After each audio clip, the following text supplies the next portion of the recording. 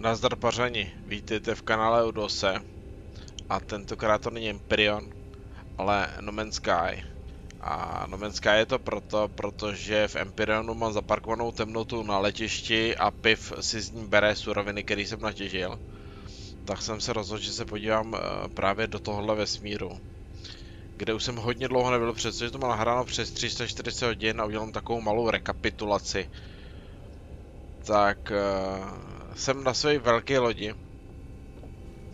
Odkud teda, kde jsem omylem tady na hvězdné mapě, mapě galaxie, tak jsem omylem eh, kliknul prostě na jednu, na jeden ze systémů a vletěl jsem do něj. Takže vůbec nevím, kde jsem. Eh, je to teda kousek od, eh, od mýho, já už přiznám, že ani pořádně nevím, že to ovládám, Eh, kousek od, mý, od mýho eh, domova. Tady eh, mám základnu, tady mám městečko, no, osadu, kterou, kterou spravuju. A my se podíváme do toho systému, ale nejdřív ven, ale nejdřív bych nazbíral tady ty gravity nobaly. A prodal je, protože oni pak vyrostou noví a já můžu já můžu těžit, uh, vydělávat peníze, těžit další. Tohle to je houba nebo kytka, která se používá tuším k pohonu uh, té živý lodi. Jinak tady, když už jsem tady, tady mám teleport, pomocí kterého se můžu teleportovat třeba zpátky do své osady a pak si přivolat ten křižník. Prodejní místo a tady jsou potom nějaké další výrobní věci. Ale my půjdeme teda do skleníku nebo skleníku do místa, kde pěstuju pěstuju gravity nobaly a pomocí těch vydělávám uh, velký peníze. Takže těžba probíhá, takže to vždycky rychle, rychle vytěžím. Ono mi to za chvilku přetíží. Uh, nosím sebou teďka určitě zbytečné věci. Občas teda přiznám, že si zapnu hru jenom kvůli tomu, abych si tu pozbíral ty gravity nobaly a prodal je. Ale uh, zjistil jsem, že že už teda tu hru pořádně nevím ani ovládat, jo. Každopádně tohle si myslím, že je jeden ze způsobů, jak rychle zbohatnout. Takže pokud budete mít příležitost, no už mám plný inventář, tak uh, se určitě vyplatí, vyplatí pěstovat ty gravity nobaly a prodávat je. Je to jedna, jedna z položek, které jsou tady asi, myslím, nejdražší a nejlep, nejrychleji se dají sehnat a, a dá se na nich opravdu vydělat. Z Gravity Nobaly, eh, ty, ty květiny, z kterých se těží, tak rostou na některých planetách, ale na těch planetách, kde rostou, tak jsou zároveň hlídaný uh, těma, těma hlídacíma robotama.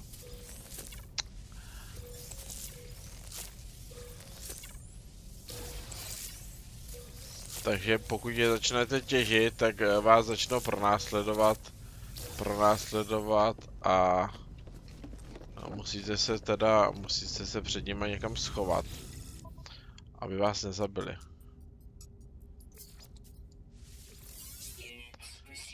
A když si budete bojovat, tak samozřejmě si je ještě víc popudíte a oni potom uh, začínají být uh, hustější a hustější a Přidávají se k ním těžší a těžší protivníci.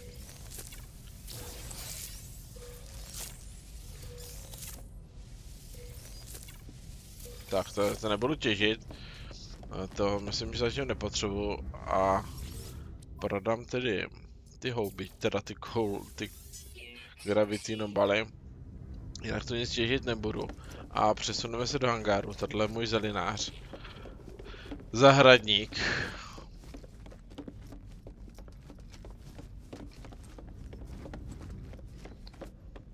No, takže když těžíte ty gravity nobaly na planetě, což samozřejmě jde, tak vás začnou pronásledovat drony, pak eh, na některých planetách, nebo pak ty mechanické psy a ve finále potom třeba i, i nějaký ty roboti.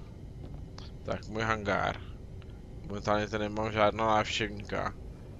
A k průzkumu té planety toho systému tady, tak si vezmeme živou loď.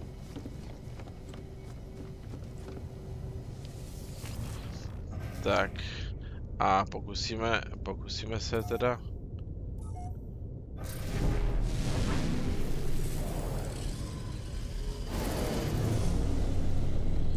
Tak. Tady mám hned nějakou neobjevenou planetu.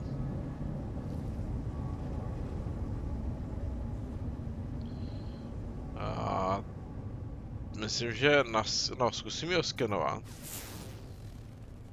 Jestli nejsem daleko, nejsem. Takže je to nějaká Black Planet, Cactus Flash, aktivní Cooper, Pirit, Stříbr. A těch planet tady bude určitě víc, ale já teda chci popoletět.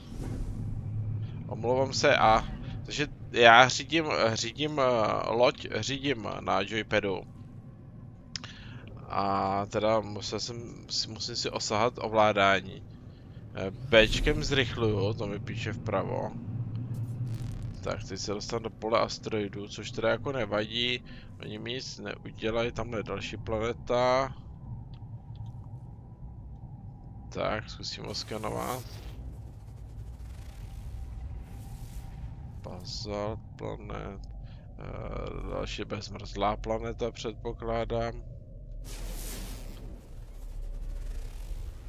Jasně. E, tohle je teda moje flotila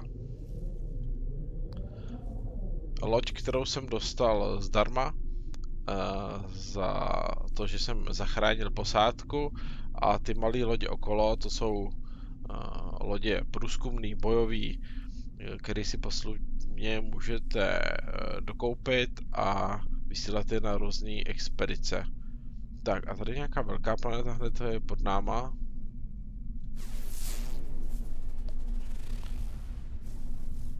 Tak, izotop, nějaká tam nějaká radiace zřejmě. Tak teď uh, mě skenujou nepřátelé. Tomu bohužel nezabráním. A zjistí, že mám na palubě něco cenného, jasně. Uh, takže líbí se jim, líbí se jim, že tu mám chlorin. A já zkusím tedy s nima bojovat. čím se bojuje, čím se střílí. Tak, jak, výborně. Víme, čím se střílí.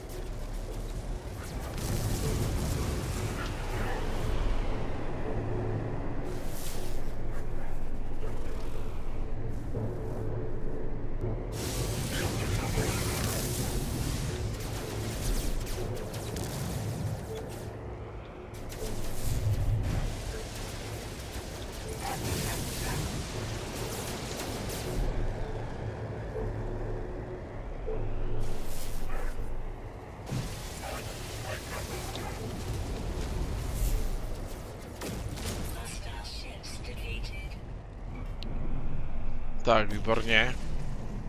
Uh, jak jste viděli, přiletěli mi na pomoc stíhačky. Uh, takže tady je, tady je vesmírná základna. Uh, boj dopadl dobře. A my se tedy podíváme na nějakou z těch planet. Tamhle to je nějaký měsíc, zřejmě možná planeta.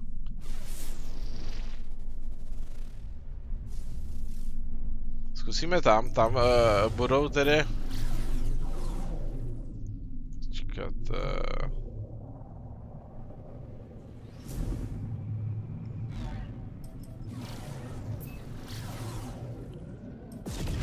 A jedna, hop. A skáčeme.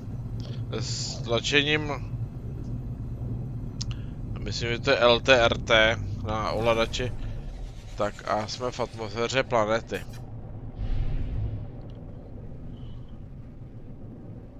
Ještě jsem si mohl... A... To nechci.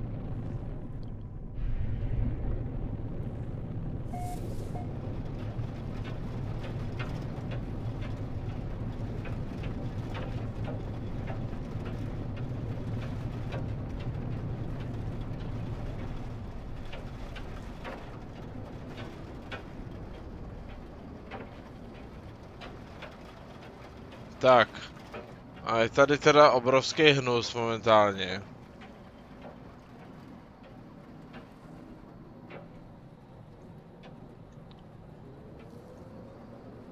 Takže nic nevidím.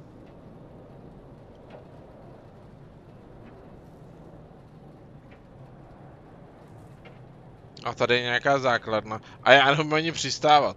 Uh, brzdy.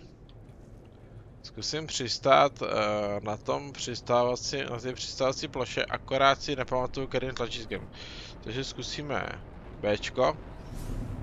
Ne, tak Bčko bylo zrychlení, to je blbost. tak, uh, nový pokus. No výborně. Tak zkusíme jen tlačítko, zkusíme Y. Ne, tak Y taky nebyl. Tak eh, zkusíme ještě další tlačítko, tentokrát to bude X.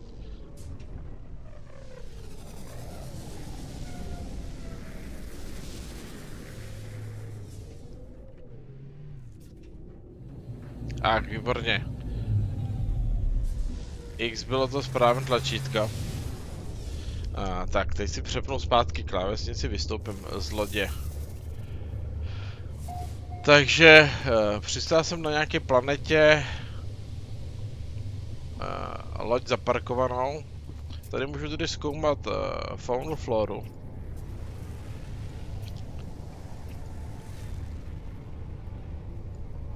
Tam nedošáhnu.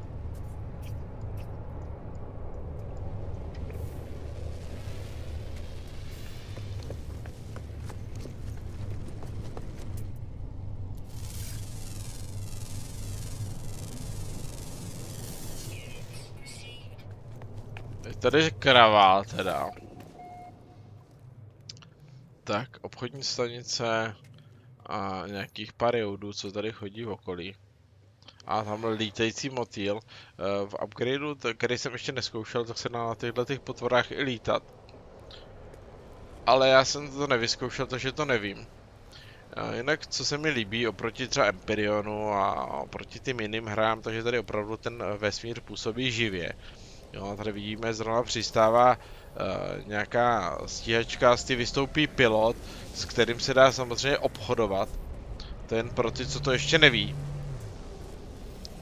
No, takže tamhle vystoupil pilot a já můžu za ním jít a můžu s ním zkusit obchodovat. Uh, tady taky, takže můžu získat nějaký materiál nebo něco prodat. Uh, když je to když je to pilot nějaký rasy, kterou zrovna potřebuje nějaký jejich eh, artefakt, tak ho možná u něj můžu získat.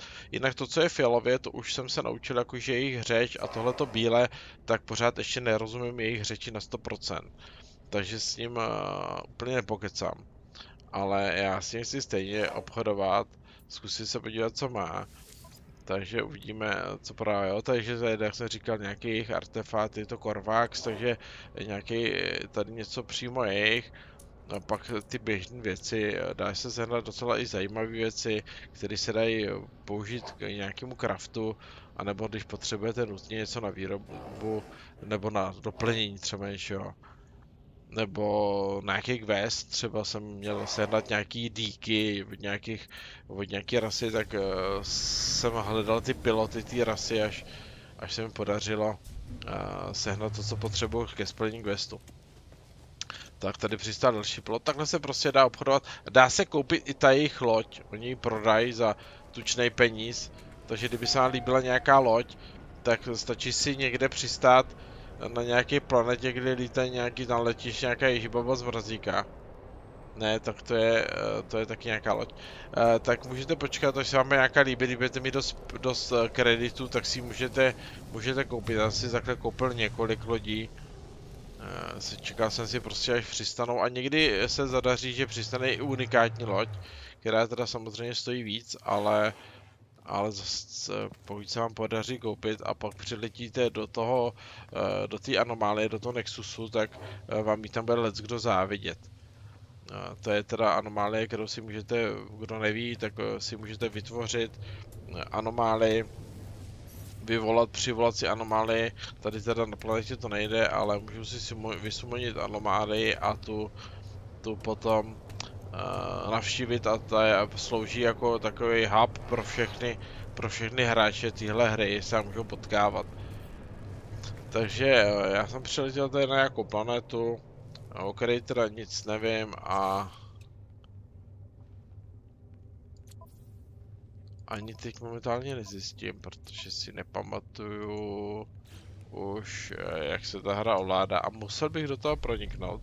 Zrovna jsem to včera, eh, jsem o tom mluvil s Pifem, eh, že bych někam chtěl letět, když on potřebuje ten materiál, já zase nechci, aby to přehazoval všechno, a on neví, co všechno bude konkrétně bude potřebovat. To jsem říkal, že si zkusím zahrát nějakou jinou hru, ale pak jsem, pak jsem přišel na to, že, že ty hry, když do nich uh, takhle skočím, tak si nepamatuju úplně přesně, jak se ty hry ovládají. Včera jsem zkoušel Elite a málem jsem se nechal rozstřelit nějaký úplně primitivního piráta, jo, takže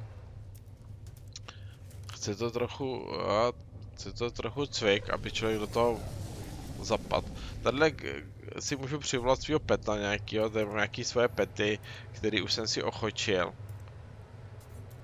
Ten pet vám nezmizí, když ho někde vysumoníte, no tady to nejde, když ho někde vysumoníte, tak on vám nezmizí, jakože že tam zůstane, ale můžete si ho vysumonit znovu, znovu příště, jo, takže já bych si mohl vysumonit toho broučka třeba. A na petovi se dá i jezdit teda. No, já ho sumonit nebudu. A nastoupím do lodi.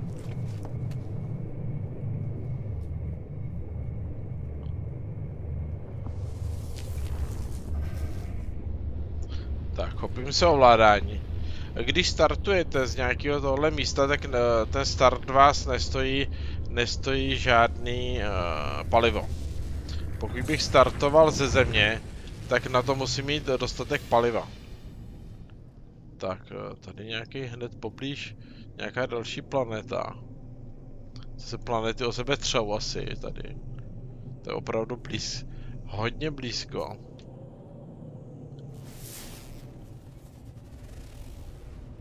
Jsem pořád ještě v atmosféře, že nejde skenovat.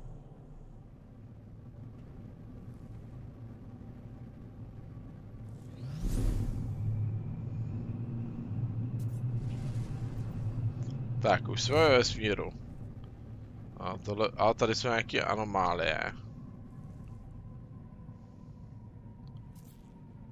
To můžu rozstřílet a můžu z toho získat, získat materiál. Jo. Já teďka nechci získat žádný materiál, protože stejně něco s ním. A... Tak bych si chtěl zapnout mapu. To ne... Tady mapa není. Já tady jsou Discoveries, tak tady by mohla být. Jo. Takže tady uh, mám tu 1, 2, 3, 4, 5, 6 planet. Z nich proskoumanou nebo navštívenou jednu. Když na ní najedu, tak uh, vidím informace, objevil jsem já, což je super. A informace nějaký o té planetě můžu si i přejmenovat a můžu, můžu to uploadnout vlastně na server, takže potom, když se mi někdo přiletí, tak e, uvidí tu planetu, že jsem ji objevil první já. A, a získám za to uploadnutí, získám 10 nanite klastrů. No, takže takhle můžu získávat vlastně ty nanitesy, který mám teda tady 32 tisíc. A za ně se potom něco dá kupovat, už si úplně přesně nepamatuju, co se za co kupuje. většina věcí je potřeba ty základní jednotky, těch mám 196 milionů teďka, 32 tisíc na Nitesů, ty jsou taky určitě potřeba k nějakým koupit nějaké věci, ale fakt nevím, co bych kecal. A Quicksilvery za ty se kupují speciální věci právě v tom Nexusu, v ty anomálii kterou teda pro ty, kdo ještě nezná tuhle hru nebo nemá proskoumanou a chtěl by, tak já si takhle dám sumonit a dám si sumonit anomálii. Ona mi tady pěkně přistane a já do ní vletím. A tím to asi ukončím. Nechci dělat dlouhý video, ještě když takhle jsem v tom zmatený, tak byste viděli spíš, jak to tady, jak to tady kazím a nevím a tápu. Takže to, co si pamatuju, tohle je teda anomálie, kterou si vysumoním, ale v té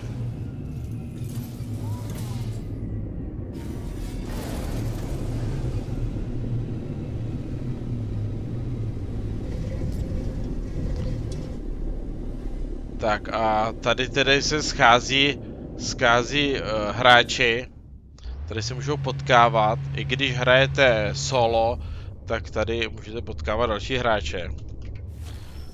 A tady je tedy přistávací plocha. A musím říct, že když jsem eh, s hrou začínal a vysumonil jsem si tu eh, anomálii a pak jsem pak jsem tady eh, moc krát jako pobíhal a koukal jsem, co sem přiletí za lodě. Když přiletěla nějaká živá loď, tak jsem chodil chodil obdivovat a teď to je zase naopak, když sem přiletím já, tak občas se stane, že vidím, jak někdo chodí k lidi a dívá se na ní. I když teď už to není až tak něco unikátního, myslím si, že od té doby, co se živí lidé přidali, tak uh, spousty hráčů už je má, anebo už uh, po nich tolik, uh, tolik netouží, oni jsou to i jiný hezký lidi, tedy Eh, co se mě týče, myslím si, že ta živá loď je, je není vošklivá, ale hlavně je hodně silná. Tak tady potom si můžete nakoupit uh, nějaký věci, třeba abyste mohli dělat lepší, lepší baráky.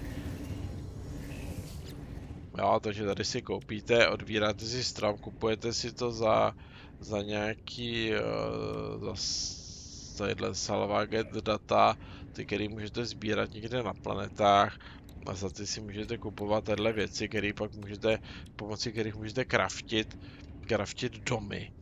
Domy a sídla a já mám teda otevřen úplně všechno. Úplně všechno, ne.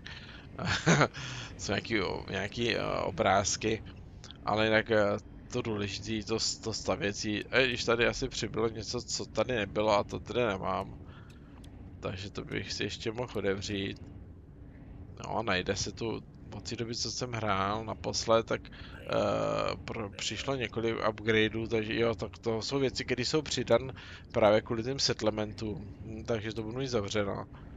Takže si můžu rozšířit, rozšířit ještě třeba potom si postavit opravdu obrovský, obrovský sídlo a dát si tam spousty různých vylepšení. A...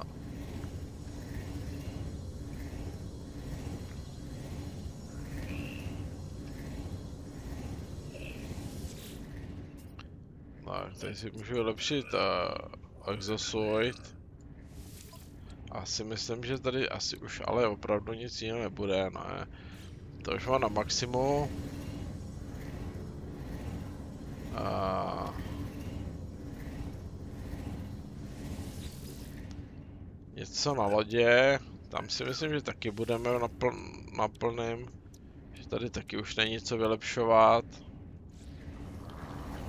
No a na druhé straně máme auta a zbraně a tam si taky myslím, že nebude, nebude co vylepšovat. Co je tohle? Laboratoř, tak laboratoř. Jo, tak to jsou nějaký, hm, nějaký komponenty, které můžete teda koupit někde, nebo si je pak můžete vyrobit z něčeho. Vykraftit. Třeba tyhle ty Atlas pasy potřebujete k tomu, abyste se dostali do některých místností, kam se bez nich prostě nedostanete. Uh, fungovalo to myslím tak, že jsem měl Atlas pas a ten byl vlastně, že jsem ho použil pořád do kolečka, že mi, že mi nemizel, ale nejsem si úplně jistý. Bych kecal.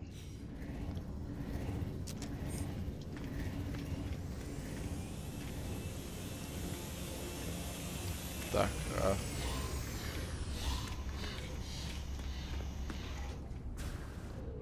Tady uh, můžete prodávat nějaký data, který získáte, získáte během průzkumu.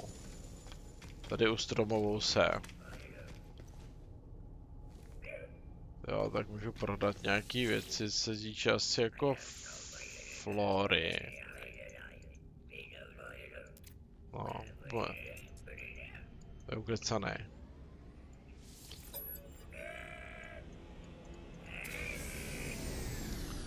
Jo, zase jsem získal uh, nějaký nanitesy. Tak tam zrovna přistál nějaký hráč. A prostě tady můžete něco prodávat, tady ten myslím kupuje různé jídla.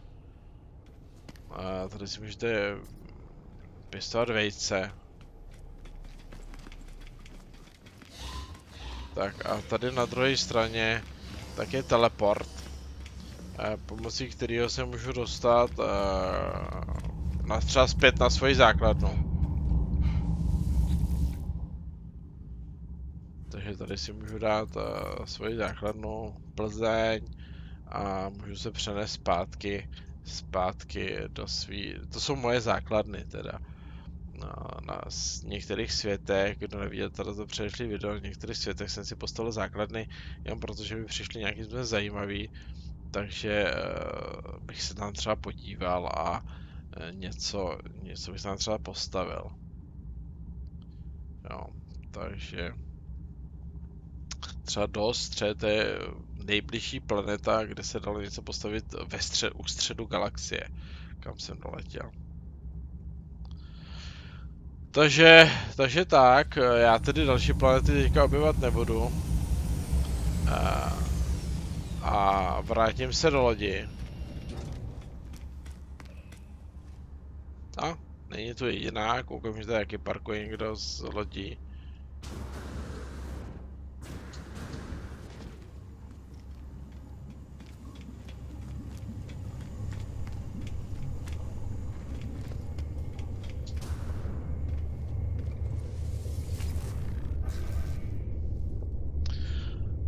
opustíme anomálii.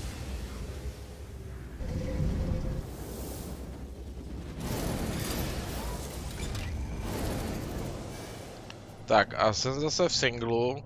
A jsem tady teda jakoby sám, ale s tím, že když tady něco uploadnu na server, tak se to objeví i pro ostatní hráče.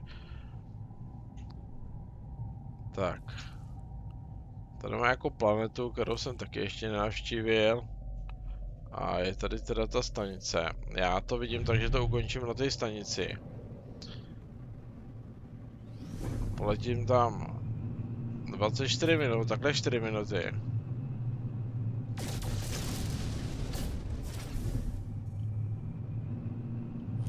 A takhle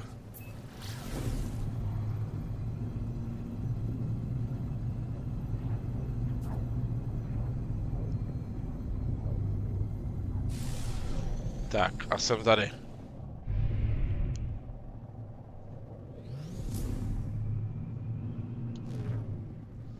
Letíme do stanice. Asi nás to pěkně stáhne.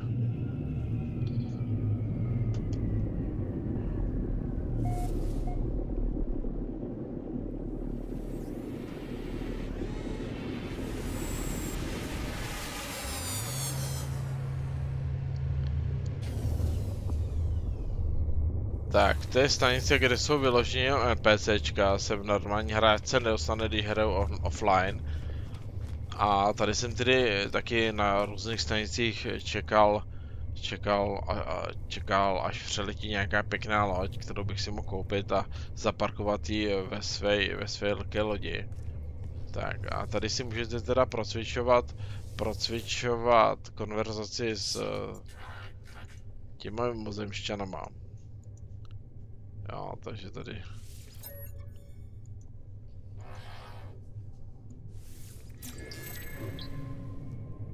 a už jsem se naučil slovo pro repair, takže když bude mluvit o opravách, tak mu budu rozumět. A tady zrovna přistala nějaká lodička. No. Ale já už teďka teda pokračovat nebudu. Uh, tady jaký kartograf, nějaký, tady, tohle je kartograf, tohle je nějaký bylinkář nebo co. Tady můžu zase teleportem, na druhé straně si myslím, že se dají vylepšovat lodě a, a tady někde vzadu se vylepšují zbraně a zbroje.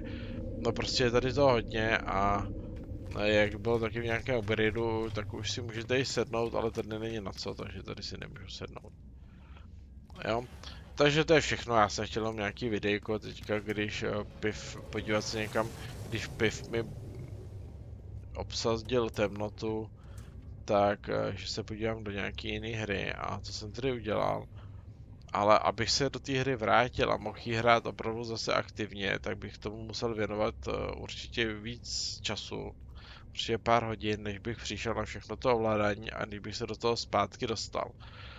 Protože takhle, když jsem se vrátil a kromě teda toho, že jsem si sklidil skleník, jsem se rozhodl, že i někam poletím, tak tak určitě jste viděli, že jsem byl opravdu spíš zmatený, než že bych, že bych to hrál nějak bez přehledem.